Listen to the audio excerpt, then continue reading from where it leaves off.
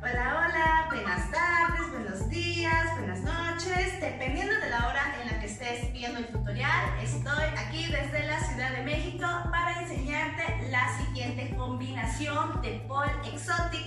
Vela y ahorita te la explico.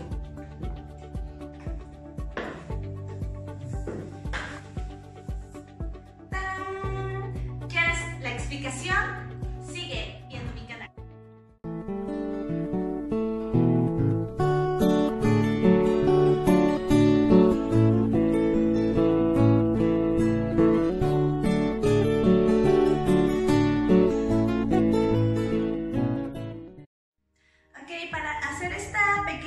Combinación de giro y que llego a una suástica de piso. Ok, fíjate, fíjate cómo lo voy a hacer. Yo soy diestra, entonces lo voy a empezar por derecho. Bracito derecho arriba, mira, con los deditos exactamente el dedo índice hacia arriba. Esta es mi mano principal, esta es mi mano la que me encarga. A final de cuentas este eh, giro es un 360, un poco voladito. Entonces, empezar con mis piernas abiertas y voy a rotar hacia la derecha. Aquí hay un segundo brazo que me va a ayudar, que es el brazo izquierdo, que lo voy a colocar con las manos completamente horizontales sobre el tubo. Y voy a traspasar mi peso hacia la pierna derecha.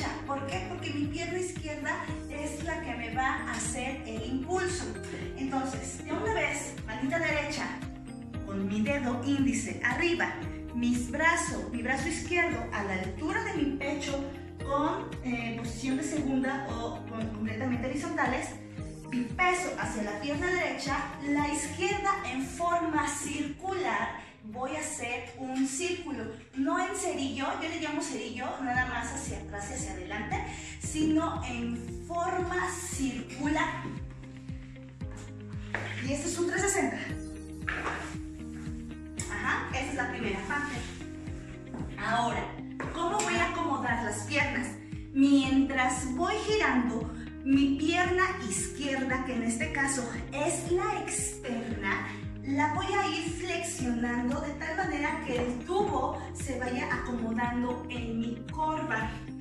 Entonces, lo veo. Derecha, mano izquierda a la altura del pecho. Abro mi compás, paso el peso a mi pierna derecha y la izquierda va a ser un círculo.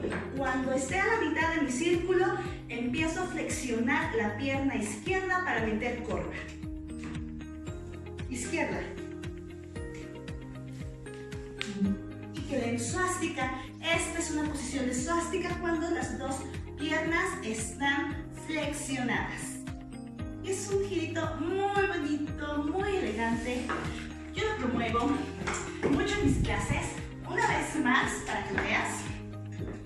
Mano derecha arriba, a la altura del pecho, mano izquierda, abro mis piernas, traspaso mi peso a la pierna derecha, la izquierda hace círculo, y esa pierna izquierda, mete la pierna, flexiona, perdón, para meter la forma. No exactamente se, se mete, pero esa es la intención.